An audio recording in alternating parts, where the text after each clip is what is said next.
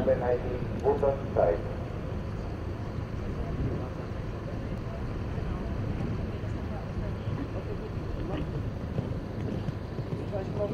Geh mal bitte zu Roberta, die hat mich gerade angerufen.